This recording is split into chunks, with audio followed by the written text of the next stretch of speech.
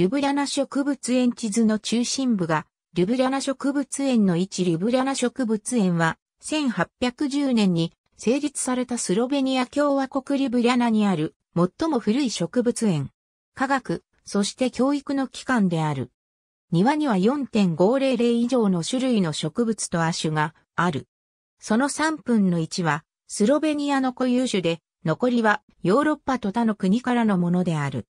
世界中の270以上の植物園と交流し、科学的研究と教育活動に関わっている。スロベニアの固有種、それから絶滅の恐れのある種類の植物の育成と保存などの重要な役割を果たしている。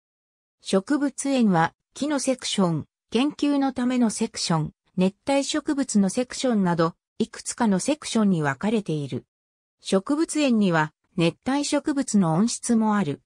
そこでは熱帯植物の380以上の種類を見ることができる。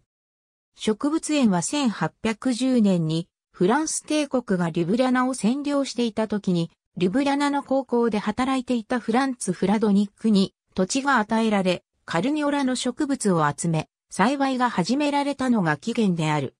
フランスの治世が終わり、オーストリアの支配に戻っても植物園の拡充は続けられ、ネポムクビアツェボジャッキーやアンドレイ・フライシマンが園長を務めた。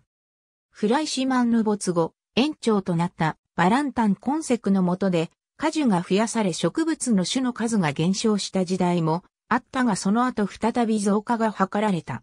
1919年にリュブラナ大学が再設立されると大学の施設となった。